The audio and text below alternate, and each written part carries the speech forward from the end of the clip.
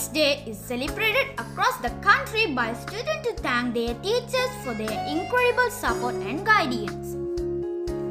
Teaching is a very noble profession that shapes the character, caliber, and future of an individual.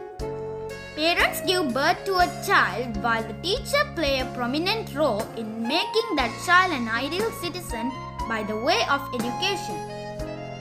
Parents take the responsibility of love and care, while teachers take the responsibility of guiding and educating a child to become successful in his life. They don't teach us only subjects and languages, they teach us good manners and life skills. They help us to develop confidence in our life. They also help us to improve our natural talents.